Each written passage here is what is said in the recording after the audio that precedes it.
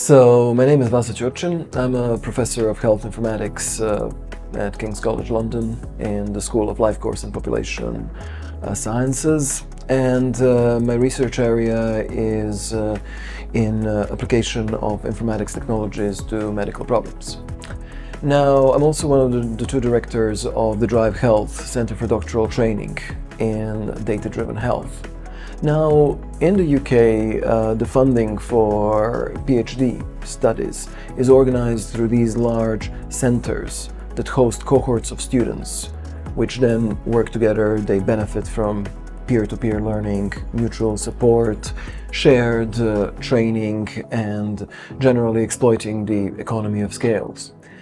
So, King's funded one such Center for Doctoral Training four years ago as a small seed-funded pilot. This year, uh, UK's Engineering and Physical Sciences Research Council, EPSRC, awarded us further £8 million to deliver 85 studentships over the next five cohorts. Data is at the core of healthcare.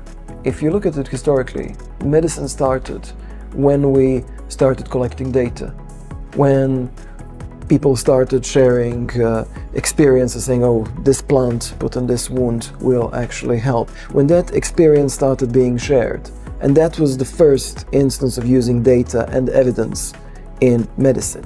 So use of data in medicine is nothing new. But what did change is that we are capturing more and more data. And uh, we are finding ways of using this uh, vast amount of data that we are collecting to come up with different treatments, uh, better improvements, and to manage that at scale.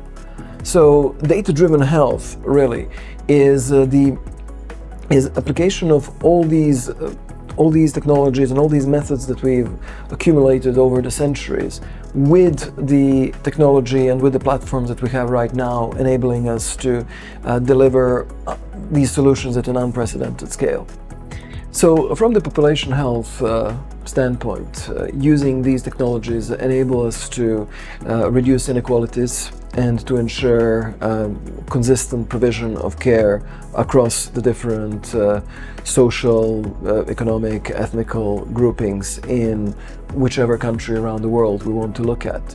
Uh, we are planning right now 85 PhD projects over the next five recruitment cohorts. And now with every cohort lasting three and a half years, the final one starting in uh, 2029. We expect that in some shape or form we will exist until 2033. So it's a, it's a nine-year commitment for us.